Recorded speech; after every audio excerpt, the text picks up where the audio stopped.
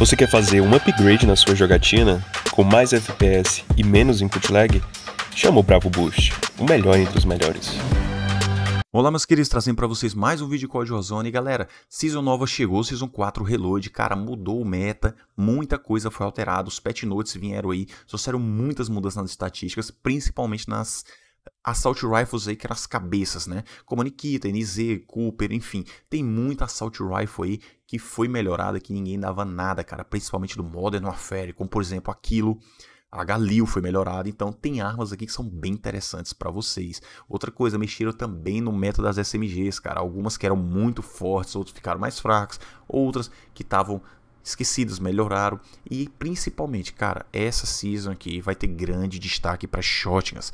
As shotguns foram muito bufadas, e não foi só uma, foram várias shotguns de vários códigos aí do MW, do Cold War, do Vanguard, várias foram bufadas. Então, se você tá curioso para saber, cara, fica no vídeo que eu vou trazer tudo isso aqui para vocês agora, ó. Mas você é novo, cara, se inscreve no canal aí Ajuda a gente a bater 7 mil inscritos, que isso ajuda demais. O apoio de vocês é sensacional, tá bom? Então vamos aqui, ó, sem enrolação, vamos direto para nossa lista. E aqui já vou começar para mostrando para vocês, galera, as armas. Olha só, Aqui é a nossa primeira Assault Rifle, eu vou mostrar a Nikita pra vocês. Galera, a Nikita foi muito melhorada. Sim, se você antes... Cara, quem acompanha o canal sabe o quanto eu já falo da Nikita há um tempo aqui.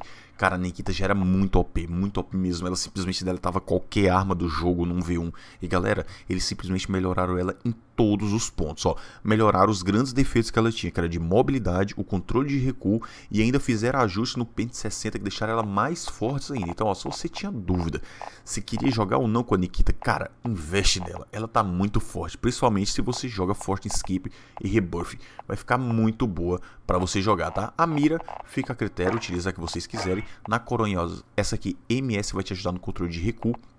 Mas a última é mais equilibrada, tá? vai te dar bastante velocidade. O controle de recuo nós vamos mexer aqui agora, ó. Strafe angulada. Esse acessório ele tomou um nerf. Antes ele dava um ajuste de 9% no recuo horizontal, agora está dando 7, mas ainda assim é o melhor que nós temos nesse sentido, tá?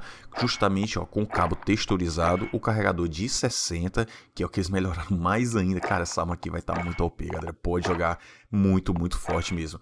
Aqui, ó, no caso, o primeiras precisões, né, que é para te dar melhor precisão nos primeiros tiros ao disparar, e tem um perfeccionista, que reduz o recuo, mas eu, eu prefiro primeiras precisões para manter o que eu já mostrei em outros vídeos para vocês, tá? E o à disposição, galera. Nikita, confia, essa arma aqui vai destruir demais nessa season, cara. Se você joga Fortune Skip e Rebirth, Pode confiar na Cal. Essa arma tá muito forte. Ela já era muito forte, cara. Eles só melhoraram. Foi uma grande surpresa. Eles simplesmente concentraram em melhorar essa arma. Eles não pioraram nada dela, somente bufaram. Então, Shadow P vai ficar mais ainda. E pode ter certeza que muita gente vai jogar com essa arma nessa season. Aqui na nossa segunda arma, olha só. Carabina Cooper, sim. Eu já mostrava para vocês também. Carabina Cooper, desde a season passada, era muito forte, cara. Muito forte mesmo. Porque ela era zero recuo o time to kill muito baixo, só perdia para Nikita e agora, cara, ela tá muito forte ainda. O que, que aconteceu com a Cooper? Ele teve um nerf no controle de recuo, tá? Então assim, ela praticamente tinha zero recuo e eles só mexeram agora que deram um pouco de recuo para ela. Mas isso quer dizer que ela seja ruim? Não. Agora você vai precisar controlar um pouco a mira, que antes você não precisava de jeito nenhum, cara. E agora só precisa um pouco. Mas assim, vamos fazer mudança no loadout. Antigamente mostrava que ó, strafe angulada com fita para vocês. Só que o recuo horizontal dela ficou assim bem forte em relação ao que era antes, tá? Antes era zero. Agora passa a usar texturizada, que vai ajudar nesse controle de recuo horizontal e deixar ela zero recuo. Então, basicamente esse é o único ajuste. Tá certo? E o carregador de 60 projetos, que é o de sempre, que ainda é o meta demais dela. Alongada, na primeira firmeza para tentar ajudar o máximo possível nesse controle de recuo, que ela já é fácil. Eles deram uma nefada, mas assim, todos esses attachments juntos, ó, o firmeza com strafe angulado e texturizado vai te ajudar demais. E aqui à disposição para você puxar a mira mais rápido, tá? Cara, carabina Cooper aí, ó. Quem acompanha o canal já sabe, já tem um tempinho. Essa arma é uma delícia de jogar e com certeza ainda vai estar nas cabeças dentro desse jogo. Aqui a nossa terceira, olha só, NZ, sim.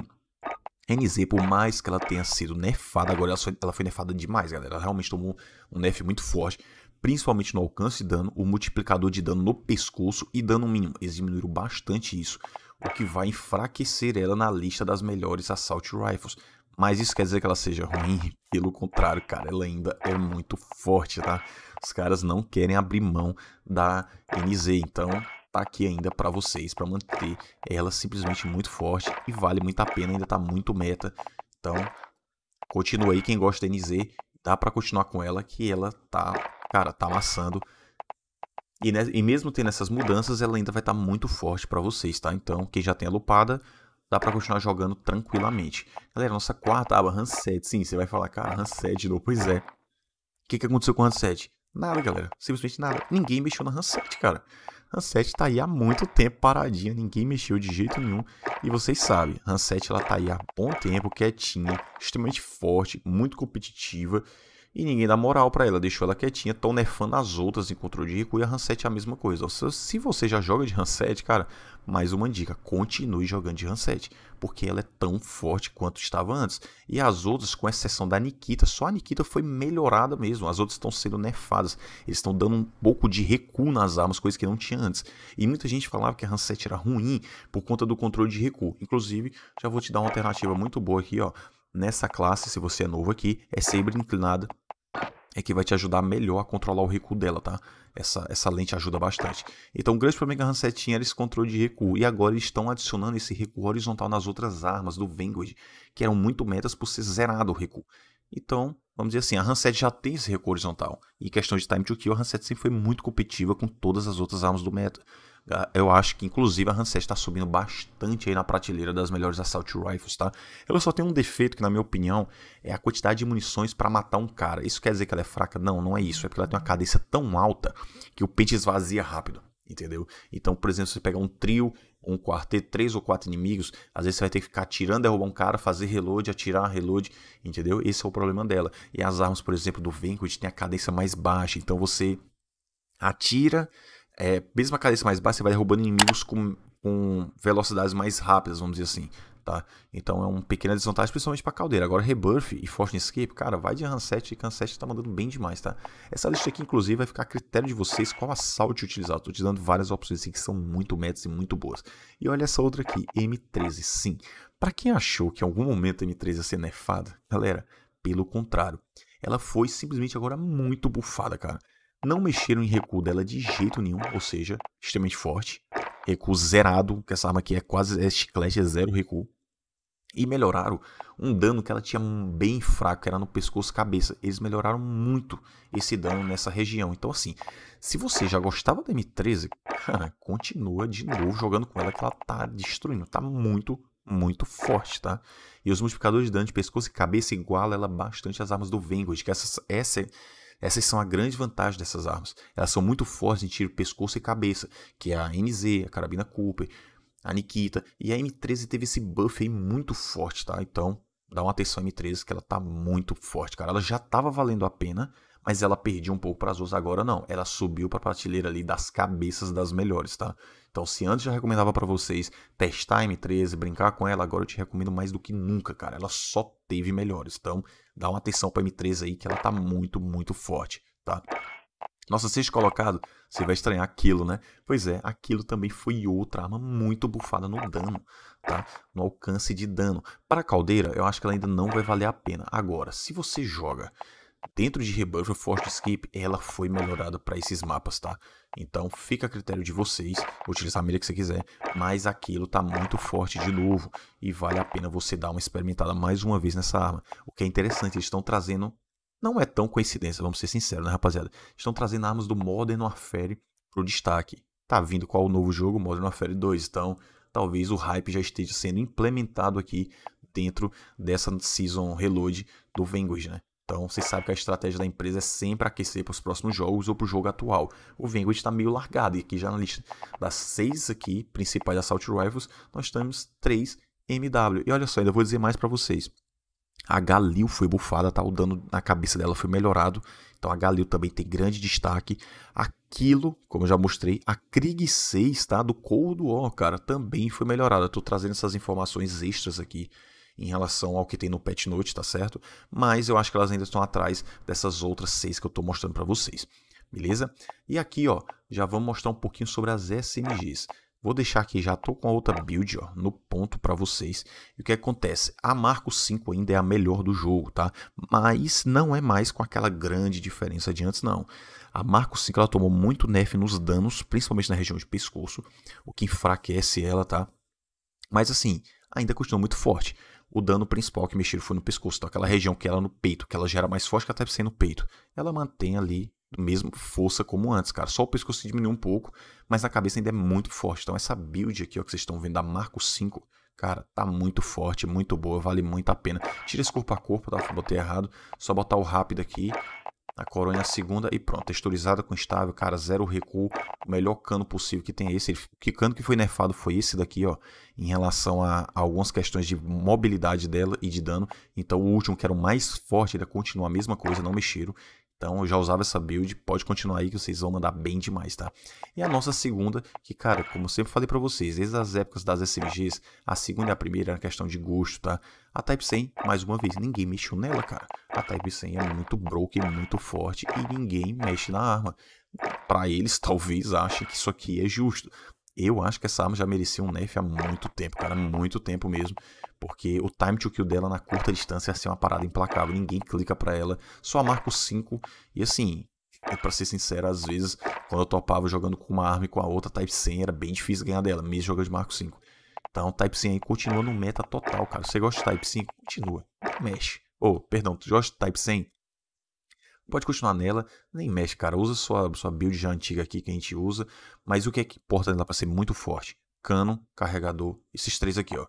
O restante é basicamente para controle de recuo e mobilidade. Isso aqui é para aumentar mais ainda o dano, tá? Se quiser jogar de alongada também não tem problema. Então, foca só nesses três. O restante, você, vai, você pode ver vários outros criadores de conteúdo dando builds diferentes, porque o foco desses outros atestos está em questão de controle de recuo, de mobilidade, o que isso varia, por exemplo, para mouse e teclado, que varia para controle, é, para o seu estilo de jogo, enfim. Isso aqui eu estou mostrando para vocês aqui, eu curto jogar, tá? mas fiquem a critério, só tenham atenção. Não mudem, deixem esses três aqui, que é isso que deixa forte, tá? O restante é pessoal. Então a Type-C aí nas cabeças junto com a Marco 5 continua do mesmo jeito, cara, muito, muito forte. E olha só, H4 Blitz, sim, você vai falar, ah, cara, então o meta dessas SMGs nem mudou, né? Não é bem assim, galera. Inclusive, nos próximos dias, vamos trazer aí a lista das, eh, das melhores SMGs assim em ranking, tá? Da primeira para a última, com vários testes, olhando direitinho as estatísticas mais atualizadas nos sites, né? Que eles ainda vão demorar um tempo a atualizar, no sim.gg e no True Game Data.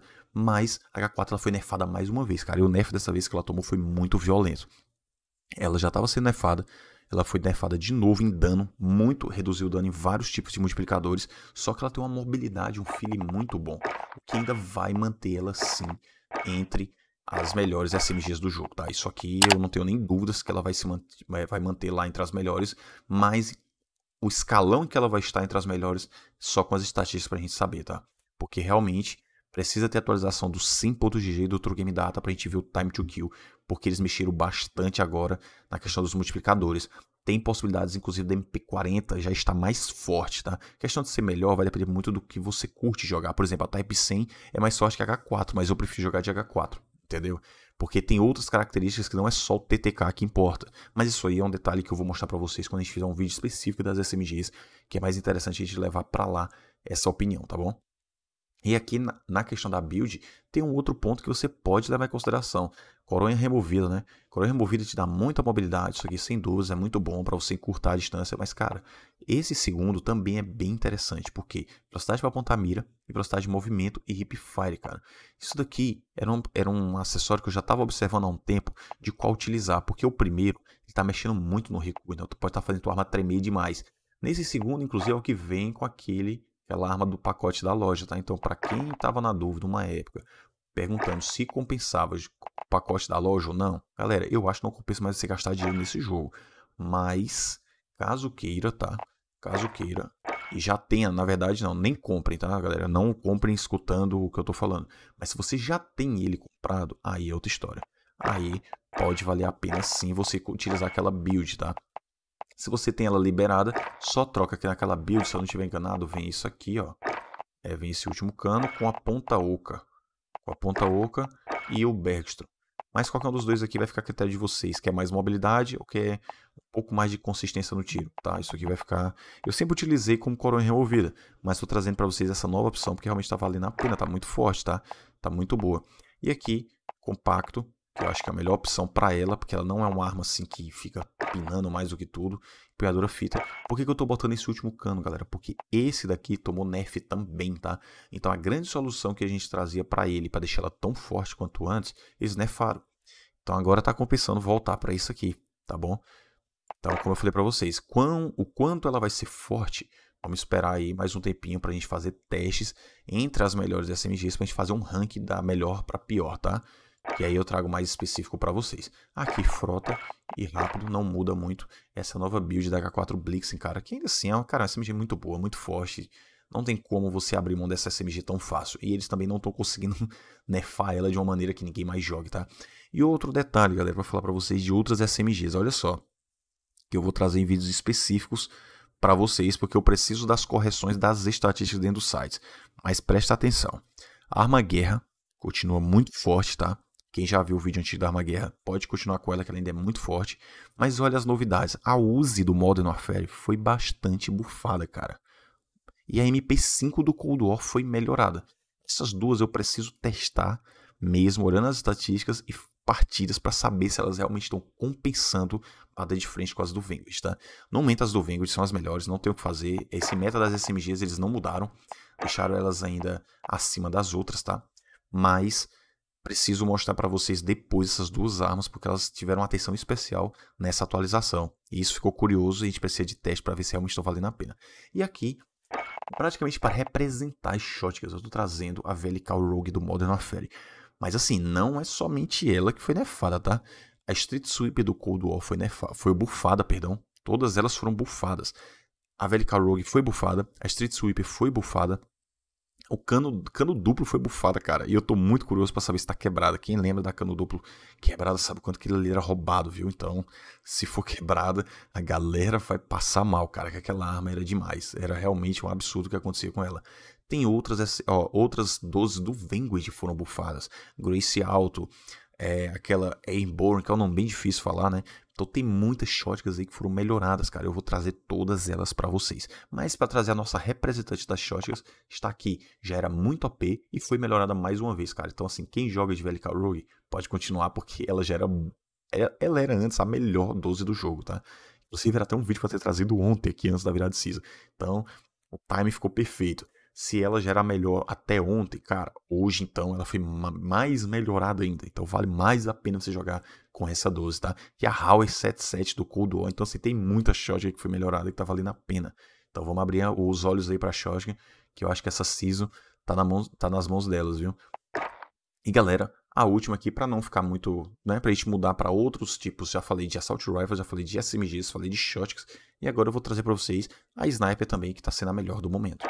E aqui na Sniper, galera, uma das, né, que tem várias snipers que estão boas, tá? A gente, inclusive, tem um vídeo das melhores snipers, teve, tiveram mudanças, algumas foram nefadas em alguns pontos, mas vou trazer uma delas para representar para vocês, que já falei do outro vídeo que vale muito a pena, que é o fuzil de três linhas do Vanguard, tá? Galera, vocês desculpa na voz aí que eu tô um pouco rouco, mas não podia deixar esse vídeo para depois, tinha que trazer para vocês aí com essas atualizações, tá? Olha só, na boca você pode utilizar o Mercury, isso aqui é principalmente para quem tá querendo jogar no é, Force Escape ou Rebirth, tá? Então aqui, ó, o Impress, o primeiro também, tá bom? Muito forte, muito bom. Na lente, você pode utilizar de 3.5, você não precisa... Você pode botar de 3 ou 6 também, fica a seu critério, não tem problema. Inclusive até melhor, né? Porque você consegue modificar em várias distâncias diferentes. Na Coronha nós temos algumas opções, mas a segunda sim é muito melhor, porque ela é bem equilibrada no recuo e na velocidade. Enfim, ela é bem completinha mesmo, deixa ela uma delícia de jogar. No acoplamento, Mark 6 esquelética, cara, muito boa para puxar mira. Carregador, você bota o último, né? Quanto mais munições, melhor. Porque, até porque todas elas são muito fortes. Por exemplo, o primeiro e o último, basicamente a mesma coisa de dano, então utilizo o último. Na munição alongada, isso aqui é obrigação nas assaltos ou na, e nas snipers do Vanguard. No cabo você tem algumas opções, mas assim, fica muito a critério, porque basicamente não vai mudar muita coisa. Você pode utilizar o polímero, pode utilizar, por exemplo, de couro, né? Para te dar estabilidade de mira e velocidade para apontar a mira, o que é até melhor de couro, se você quiser jogar um pouquinho mais agressivo, pode ser até mais interessante. Na vantagem 1, nós temos algumas opções, mas a melhor de todas está sendo foco silencioso, vai te dar mais estabilidade, já que focamos aqui em velocidade com esses attachments e estabilidade no foco silencioso. Mas se você quiser, por exemplo, tirar o brilho da luneta, essa aqui é uma boa opção. O oculto também pode ser bem interessante para você, tá? Então, dê uma atenção a isso. E na vantagem 2, sem dúvidas nenhuma, à disposição para você puxar a mira mais rápido, tá? Galera, essa aqui é o nosso top 10 atualizado da Season 4 Reload. Cara, só tem arma boa aqui, galera. Pode confiar na Cal. Vai em qualquer uma daqui, monte seu loadout baseado nas informações que tem aqui, que eu acho que vai valer muito a pena para vocês, beleza? Se vocês tiverem curtido, cara, deixa o like, se inscreve aí que vocês ajudam demais o canal. E, cara, a gente está dedicado a trazer o máximo de informações em primeira mão para vocês, os melhores loadouts, confia que aqui tem muita pesquisa, a gente vai atrás de muita coisa legal para vocês, tá bom? Então, um abração para vocês e vamos curtir as armas novas. Fui.